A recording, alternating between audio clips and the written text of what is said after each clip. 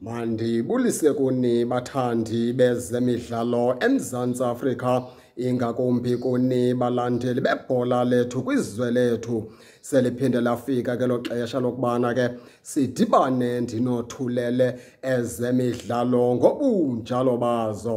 Baphulaphuleke lapha sizaka nendaba malunga nomqeqeshi omtsha beKaizer Chiefs okanye izikhulu zeqela kule Kaizer Chiefs phaa abaphatha amandla kuthiwa ke balungise into yokubana bohlangana ke nomqeqeshi komtsha ke oqeqesha phaa itim ke iyoung africans umqeqeshi oqeqesha phaa kwelasetanzania ikaizer chiefs ke ithi ke ifuna ukumthatha lo mfana ke ibe nguye ke ozoba intloko phaa kuarthur zone ngoba ikaizer chiefs kuthiwa ibabekile amagama amadoda kuquka umanqoba mngqithi uquka phaa ubrandon truter ithi ke khayi izathu sike ifuna nalo mfana umfaka ke elistini yabo ngoba ke wenze kakuhle kakhulu futhi ke unamava indoda ephuma phaa kwelasebelgium khayi izathu sike ithi ke izohlangana nalo mqeqeshi ke igama lakhe lideke baphulaphula ngunazaredin naphi nazaredin naphi ngumfana ke lowo ke ongumqeqeshi weqela ke le-young africans khayi izathu zikuthiwa ke ngoku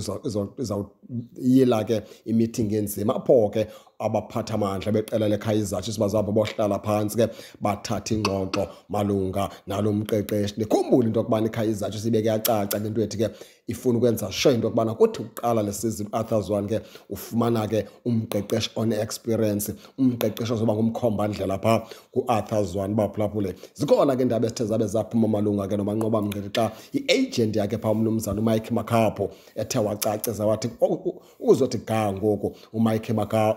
uxebe umanqoba mgqithi nesundowns basaxoxa kakuhle kakhulu uthi akho nto ke sathe umanqoba mgqithi ke uyaphuma phaa kwisundowns utshiloko umayike makhabe esithi ke okwangoku umanqoba mgqithi usengumqeqeshi ke weqela ke lesundowns kodwa xa kukho utshintsho uzawuza ngaphambile ke azawumemezela abantu nathi ke ukhona utshintsho elenzekileyo kodwa uthi okwangoku akho nto isa umanqoba mngqithi phaa kwiqela ke lekhaya izatshi umanqoba mngqithi umfana omdala ke usangumqeqeshi ke weqela ke lemamelodi sundowns umlomo ke lawo phuma phaa kwi-agent yakhe umlumzana ke umike makaphu yiyo loo nto ikhaya izatshi usithema isukume ngoku yofuna iyozama uhlela imithingi phaa nomqeqeshi koqeqesha phaa iqela le-young africans phaa etanzania bahlale naye phantsi bazame ke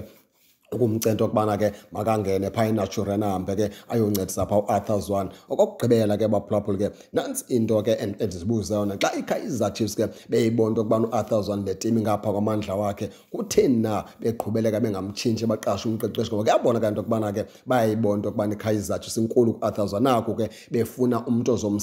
ozomnceda naku befuna umntu ke ozomphakamisa umntu ke ozomkhombisa into yokubana ke kwenziwa njani kutheni na bengamsusi bamphindisele phaa kwi-reserve side ngoba kuyacaca into yokubana bambona into yokubana ke noko le tim ngapha kwamandla wakhe balibala ngokwenza izinto ezingahambeli phambili ngoba ke xa befuna uqasha umqeqeshi onamava mabaqashe umqeqeshi ne-assistant coach yakhe bathatha u-arthur zona odilon shepherd babaphindezele phaa kwi-reserve side uqhutyelekwe nempilo ikhayiza chiefs ibonaka into yokubana kusizini ezayo iqhuba njani injalo ke baphulaphuli khanike ningene nanitsho ke nento yokubana ke niva njani nize ke ningakhohlwa usubscribe kule channel kuze ningaphoswa zezemidlalo endiza nothulela zona kwixa elizayo kakuhle babukeli.